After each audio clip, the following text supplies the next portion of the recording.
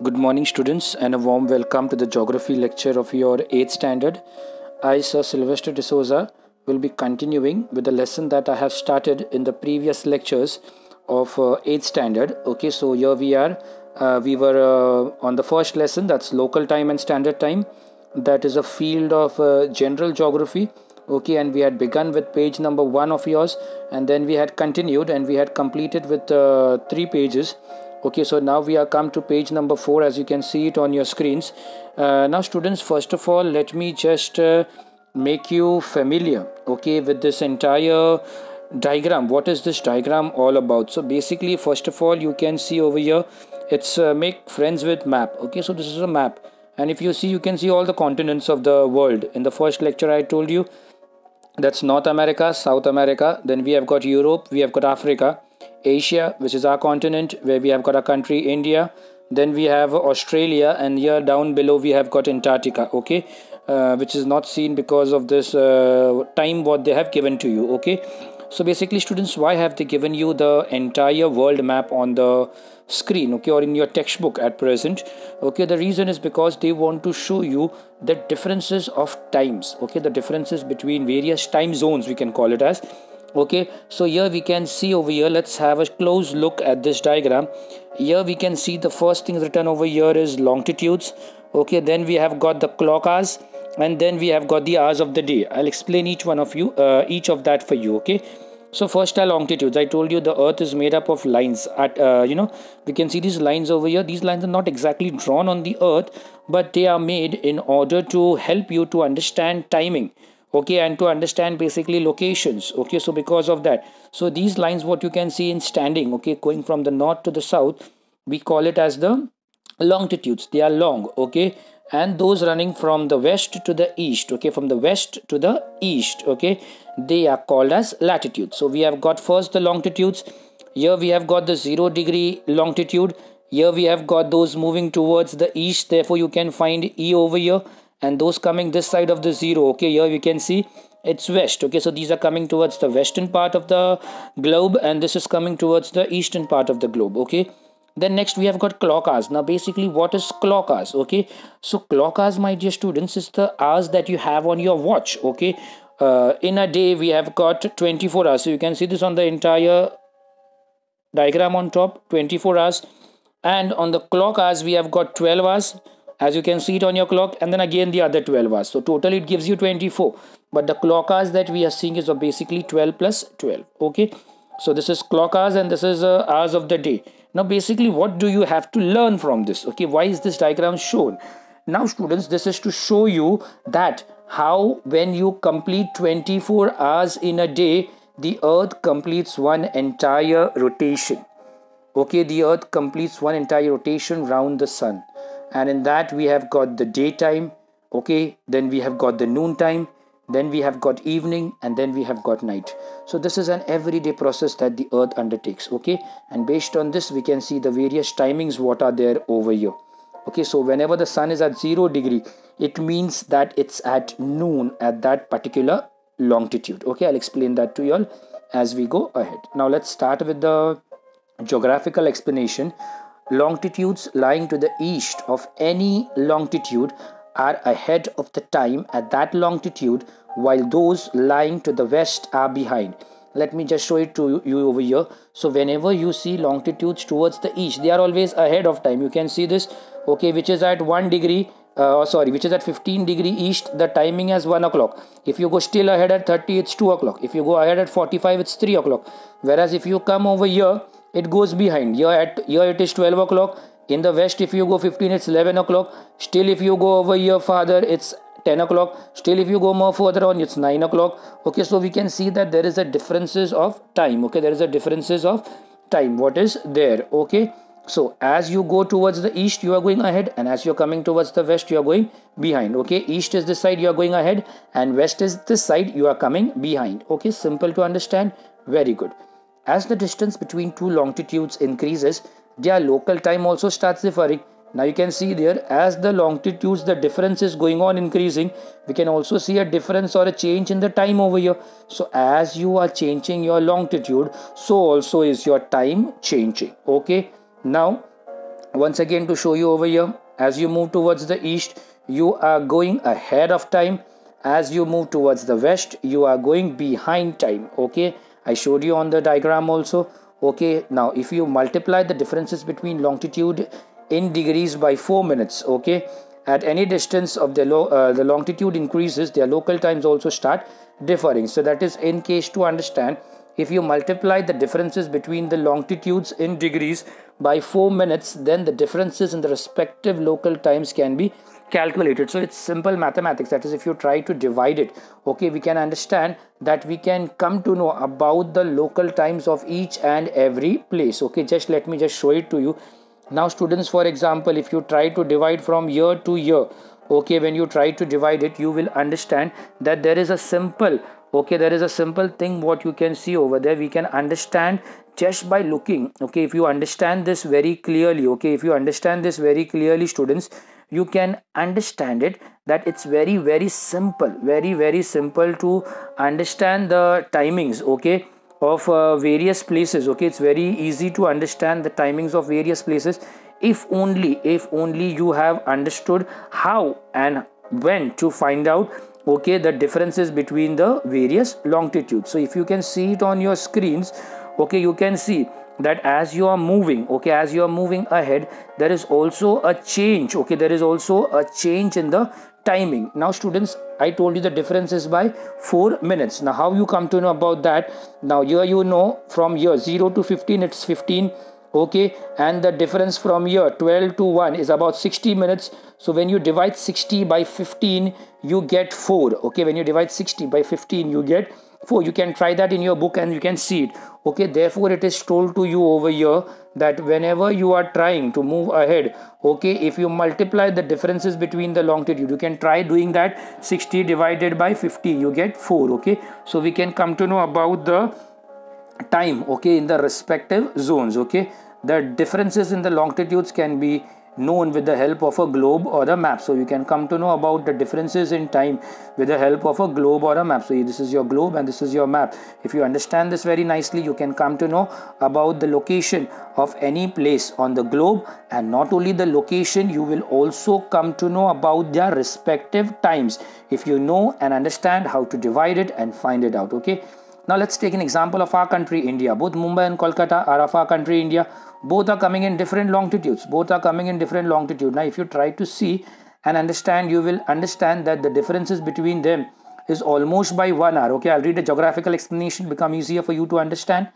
Both Mumbai and Kolkata are located within India, but on different longitudes their local time differ by an hour so we can see that the differences between mumbai and kolkata okay it differs by an hour okay there is a difference between both of them by an hour okay if there are different local times within the country because of longitudinal differences there would be lack of synchronization in the routine activities of the country. If each one follows their local time discrepancies emerges in carrying out daily business in the country. Therefore generally the local time at the longitude which generally passes through the middle of the country is deemed to be as the standard time of that country. This standard time is used all over the country. Now i'll tell you in short what is written. Just now i told you the difference between both. Okay both are coming at different longitudes and if you see the timing my dear students this is coming to the east okay? So here it's noon before mumbai. In kolkata the noon is before mumbai.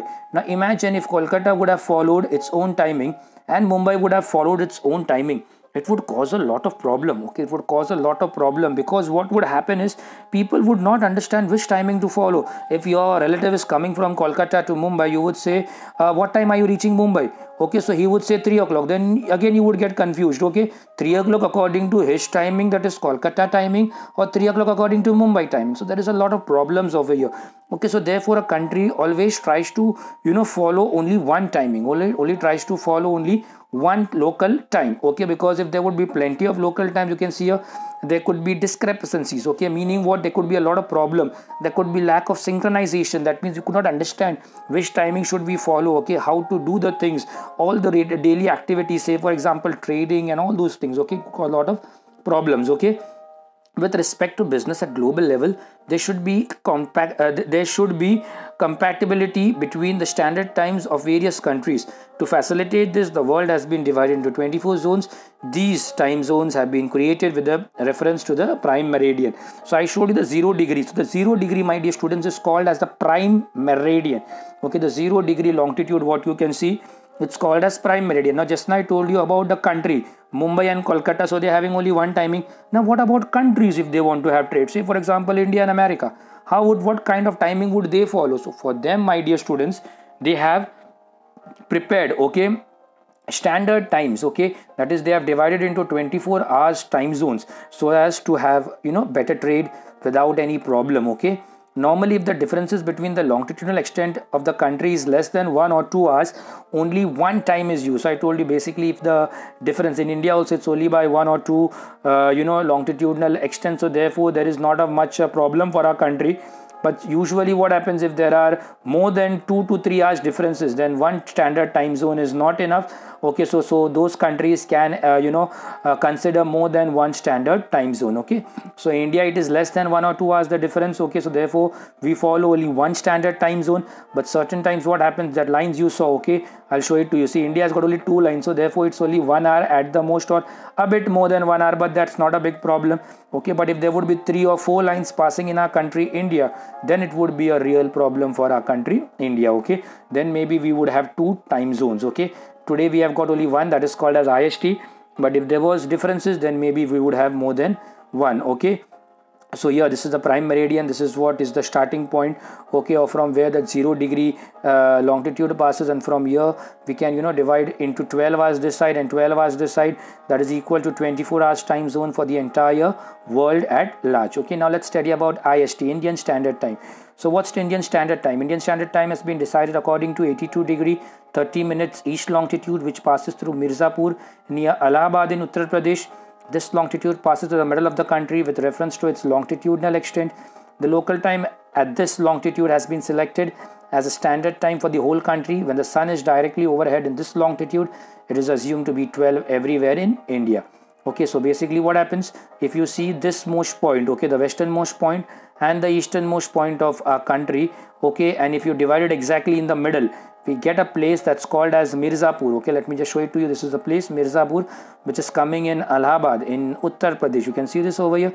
So when it's noon over here, when the sun is exactly over this point, okay, we can say that it's noon all over the country. Okay, because this line is how the distance between east to west is about 3000 so exactly in the middle we have got 1500 so when you catch that it passes through mirzapur okay a place called as mirzapur which is coming in Uttar Pradesh. Okay, so that place is basically you know taken to be as the standard time of our country. Okay, so whenever it's noon over here, this time is considered to be as the standard time at 82 degree and 30 minutes east longitude. Okay, now what's the universal standard time? What do you mean by universal standard time? Okay, for an international coordination between countries the local time at Greenwich, that is Greenwich Mean Time in England, is considered to be an international standard time.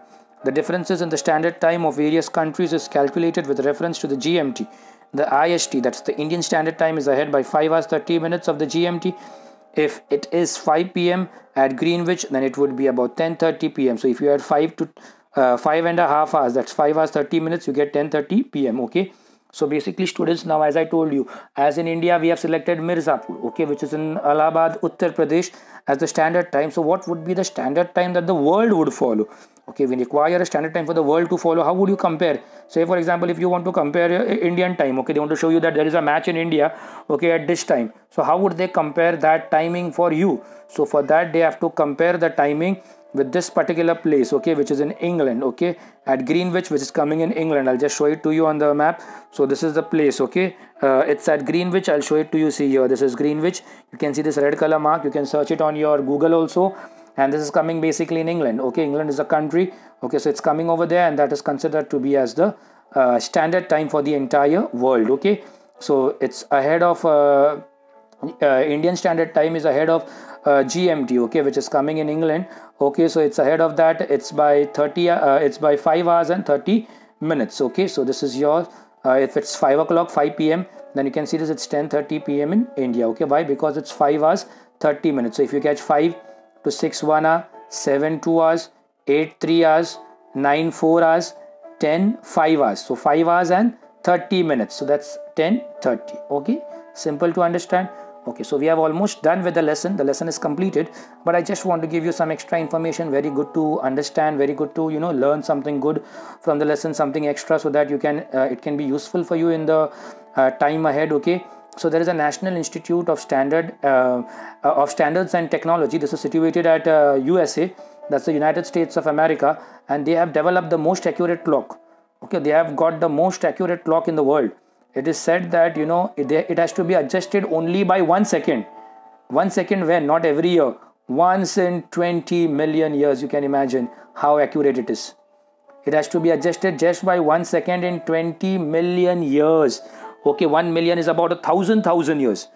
Okay thousand thousand years are about 1 million so you can imagine how much is 20 million. In india also we have got uh, the npl that's called as the national physical laboratory of india it's at new delhi. They also you know have got an accurate timekeeping because it's very necessary when you're talking about space researches and so on okay? It plays a very very important role. You can see over here whenever you want to launch a spacecraft or all these things you know it's very important accurate timing okay? So this is accurate up to 1 lakh part of a second. Now imagine uh, 1 second okay? You can imagine 1 second? Just i'm telling you 1 second it's completed. So it's accurate to 1 lakh part. If i try to divide the uh, second one second if i try to divide so it's so accurate. Okay it's so accurate. So you can imagine how you know technology today has reached. Okay so the most accurate clocks. Okay so this is the thing that is there in the united states of america. Okay that's the national institute of standards and technology. And this is the one that is there in india. That's the national physics laboratory okay so it's very useful for launching of satellites and so on okay? Very very helpful. And one more information for you is about jantar mantar. It's an ast- astronomical observatory. This was supposed to be you know showing the correct timing okay? It was the olden days. That's maharaja uh, jaiswal uh, Jaiswal uh, uh, Jai Singh, okay, the second, he was the one who had, uh, you know, developed this at Jantar Mantar, okay. It's at uh, Rajasthan, Jaipur, the capital of Rajasthan. It's situated over there, and there are plenty of observatories. One is at Ujjain, one is at Varanasi, Jaipur, Delhi, and Mathura. So all these are the various ones which are there okay? So this has helped you to it was it used to help to show timing to those people at that time okay? When they did not have clocks and mobiles like us okay?